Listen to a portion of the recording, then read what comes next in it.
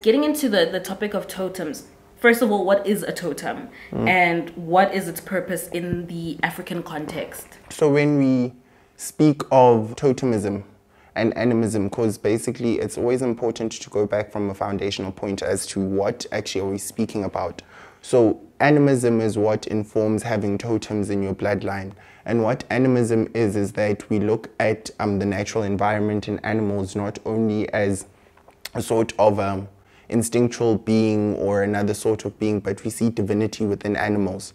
So it means that certain lessons are learned from animals. In our African spirituality, our ancestors learned um, the ethno-medicine ways of healing, which is umuti, ditlari, miriana, to use them by observing by observing animals in their natural environments because animals don't go to doctors.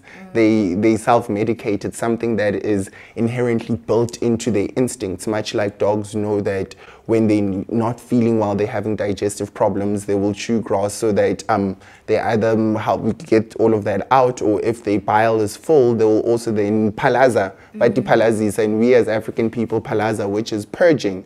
So that's an observance where different animals would have different than trees or leaves or shrubs that they would eat in, in, in pertinence to how they are structured. Animism has many layers, but it's just to say to an understanding of it, an idea of it is basically the observance of nature to innovate, the observance of nature to be able to learn, the observance of nature to be able to know how to live within the in, in coexistence with the environment. Because animals are instinctually aligned with the natural rhythms and cycles of nature. In all of the seasons they know inherently what it is that they need to do. So animism then when it's then a practice would then be totemism, where each tribe would have a particular totem that they attributed to. So that idea, when we look at totemism first to introduce it, is that in in our royalty, because we understand that we have royal lineages and coming from a communal background as African people, um, ubukhosi or the monarchy is very important within the within the structure of the community. It is basically the place that brings together all of the people in the community. So you find that much like now there's the Lion King where we speak of Simba as the king of the jungle. Also in our African totemism, when you look at it universally all over Africa is that all kings have an association with um, the leopard skin and also with the with the with the uh, lion skin, Yeah. and that's why they'll speak of Ingwenyama, the great lion, and that is also to signify the fa- fact that in nature, when it comes to predators, lions generally are the most dominant. In the same way as a king, then must also emulate things um, behaviors like a leopard. Leopards are very ingenious. They are very sentient, if we could put it like that. And sentient meaning that their thought processes are very unique. It's not a very instinctual thing. They are able to innovate outside of their spaces. They're able to live in solitary, in, in, in solitude and be with themselves so that they can understand the core as to how they can traverse so many spaces. Because that's another thing about um, about about leopards is leopards can live in a variety of environments. Mm. And that's because of the, the type of character that leopards have. So we see that in animal totemism firstly within that within royalty. And when we then go into the bantu people bantu we, we come across the understanding that animal totemism informs a lot of not just the royalty but a lot of the bantu people in terms of how they recognize divinity if we went before the colonial interruption and we went into maybe older sort of Bantu clans, we were like your Kalanga people. We understand that most people who are in Africa who are of the of Bantu descent who have animal totems in their clan praises or just as they as as a family totem is a recollection back to the Kalanga people. Mm. So animals totems help to identify almost in the same way as how e- the way you dress in a particular way when you dress in orange and red and you shave your head everybody understands that you're a buddhist monk so animal totemism in terms of the representation because the people would then often have something of the animal representative in the way that they even adorned themselves or things that they used would then also show and would be a signifier as to where do you come from? So animal totemism within the Kalanga people was very important because the Kalanga nation is basically a nation that was very much in touch with nature and the cosmos.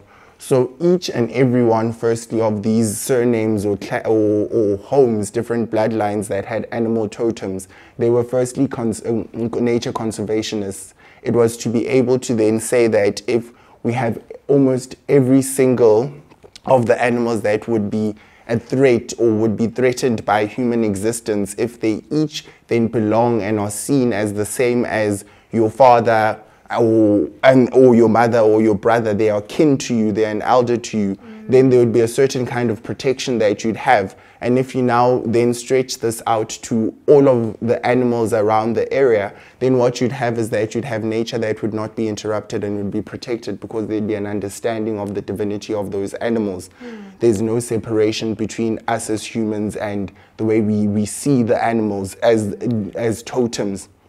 Totemism within then modern modern times because it's very important to not remain in a static sort of space where we'll reminisce about the time of Gwalanga and those great empires. Mm. But animal totemism still exists within all of our lineages. We look at it from Mazulu and the Nguni people. You have people that are Bagangwenye, and the totem is a crocodile.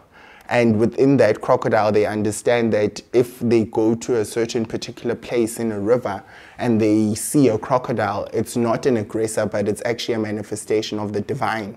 It's a message from the source, the creator. It's a message also from their ancestors, passed through their ancestor, which is the crocodile. Mm. In the same way as in your Xhosa people that believe in Umajola Majola is a snake. Mm. When it, it is understood in um, that they'll speak and narrate that in a lot of the experiences when a new child was born, they'll walk in and find the child and the snake Umajola will be there and they will not threaten or harm, harm the child. So that animal totemism also translates into how people then deal and interact with it.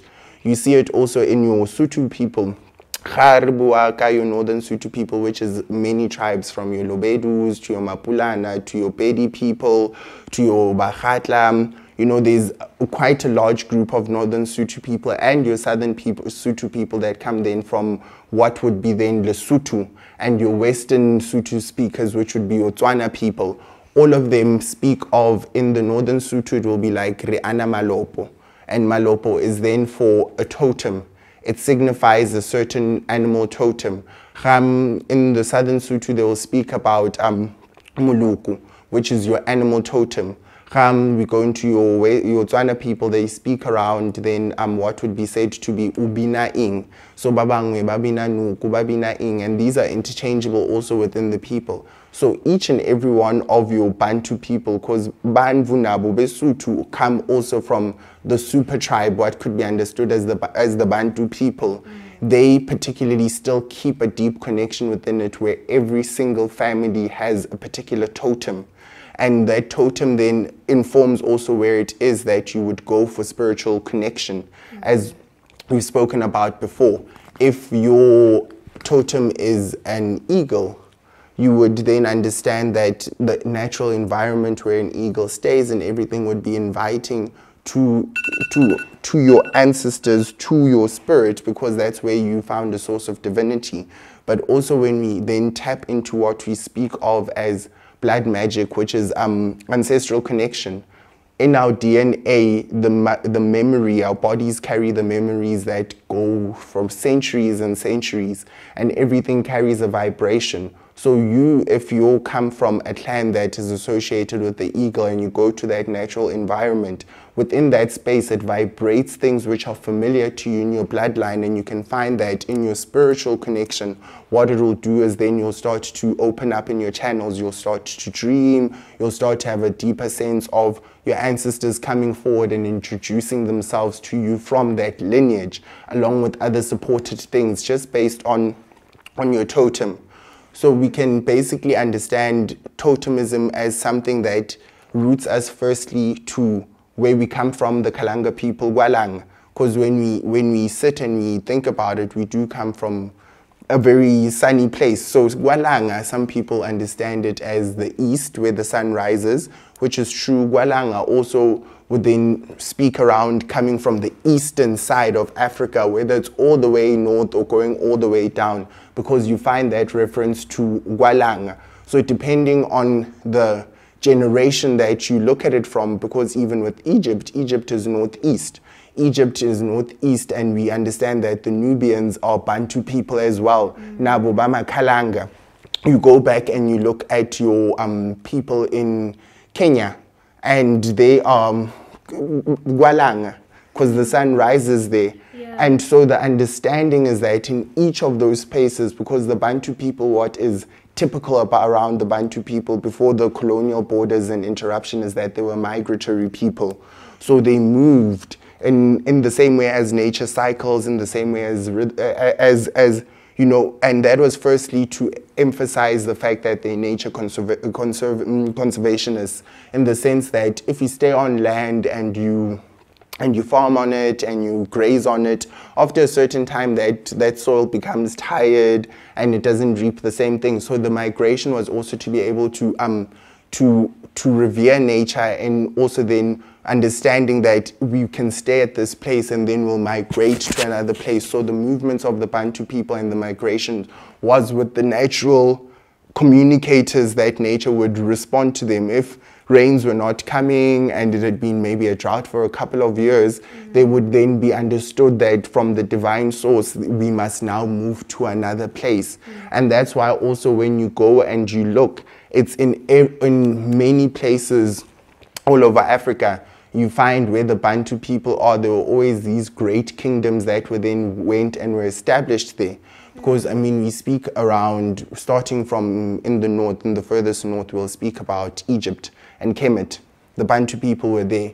You go so far as Ethiopia, a country which was never colonized, the furthest in east, it's also Gwalanga, that where the Kalanga people come from. And there you'll find that they, there's a spiritual kingdom where they have the churches that date back, and a lot of us who are seeking spirituality have the understanding that the original Bible may necessarily come from that area. You then go into what would be your Tanzania, Sofala region, Great Zambezi area. You find that there were Bantu people there who were trading with Arabs, trading with Indians, trading with your Chinese people, even before the colonial mission of the Europeans started where then you'd find around that area of the great Zambezi kingdoms like your great Zimbabwe kingdom, your kingdom of Munomotapa, where the Rozvi people and the Kalanga people settled. You go down to South Africa, you will find Mapungubwe, where also your Kalanga people settled and the Zambezi feeds into there. So the understanding also was that in nature, as much as there's a connection to animal totemisms that are land based, but there's also necessarily a connection to the waters. So when they migrated as as the Bantu people, they always used where the water would then flow, because where there is water, there is life. And so when we then start to go into new age understandings, that would be then the introduction of um, understandings of when we say Mzawe as a person that stayed at a place, particular place and they believed in water divinities and they are water-based people. Yeah. And those would be your typically your surnames like your Ubak- Ubakwena people because if you go historically into all of the people that have the crocodile totem, you'll find that if you go into the Manika people close to the Nyangani mountains between Zimbabwe and Mozambique, you find your, your Ntangwenya people who believe that the divinity is a crocodile. So they connect to that, that is their totem. You find in Swaziland, where we have Lubombo. There's the Ngwenya Mountains. The Ngwenya people is where all the kings are buried, even before the Nbosopuza and them came. And it is, it is where there are caves and it's close to the water. You go into then what would be your Bakwena, Bako Murolong and Yotsana people. They are also high kings that live in very rich mineral places, which is then the other introduction of understanding that Nzawe, as much as it's a water divinity, but it's also an indicator of wealth and prosperity because when you look at where all of these clans are, where there is water, there will be prosperity mm. Was a lot of the minerals that need to develop are actually forged with water playing an important part in their development. So that's the one understanding also that animal totemism helps us to understand is where we would then connect with things such as when we speak of Ingosi Emanzawe, in each place they would be, and in the migration there were totems that were intentionally placed at spaces to be where they would be trading capitals as well because the rivers were used to be able to then travel and to get to all of those places.